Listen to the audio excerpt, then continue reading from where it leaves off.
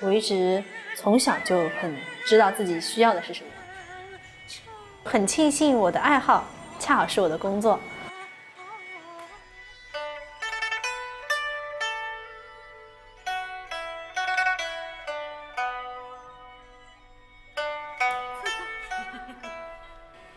昆曲它是一种小情调，生活小情调，谈谈恋爱啊，才子佳人呐，可能一句话里面就会有一些典故，让人能够慢慢的去品味，甚至更有让我想象的空间。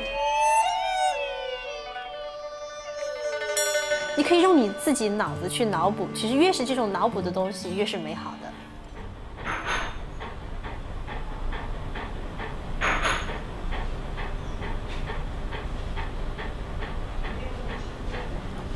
这一大包全是他那个时候空余时间练的字，我都没给他扔。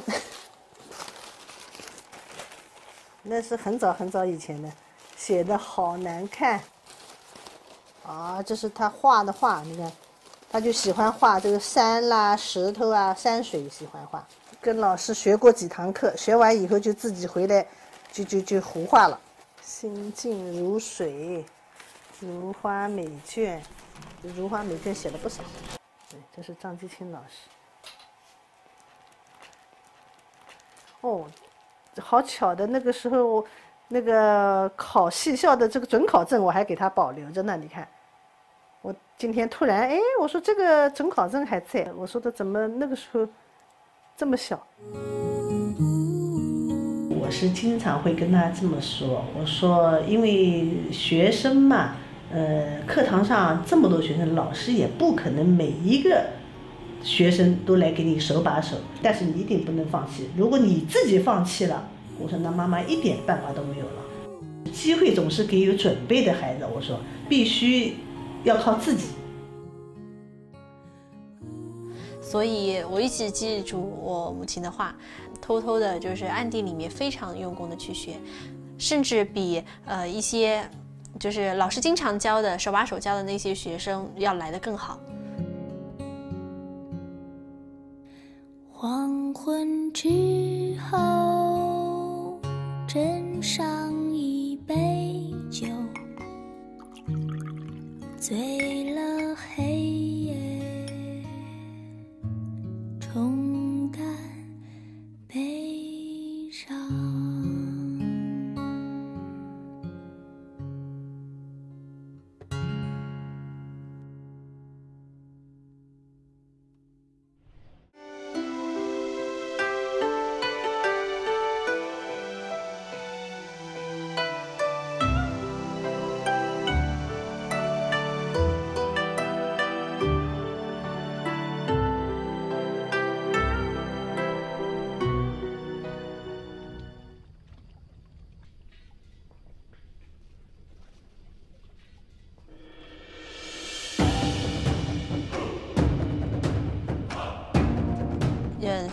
要表演人物的，这样子我觉得分成三个阶段。第一个阶段是学习模仿，第二个阶段是表演，就我怎样把它体现好。那第三个就是化掉，化成无形。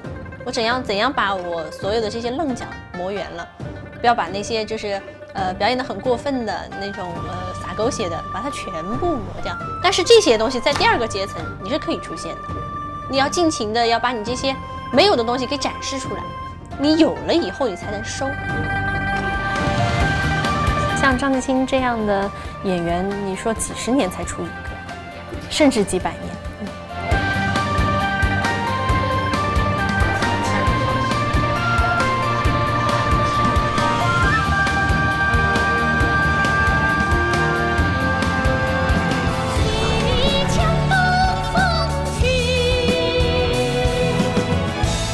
师说的每一个，我都是很用心的在听的，然后自己在研究，在琢磨。有的时候我也也也怕我太讲的太多，好像你啰嗦的来了。有的以前小孩子的时候，好像我们都当他小孩，那现在要刮目相看了啊。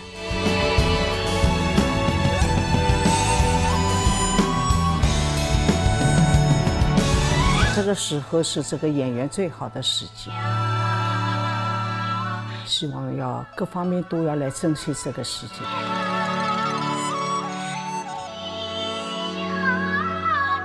不要好像轻易的，就是就这样过去。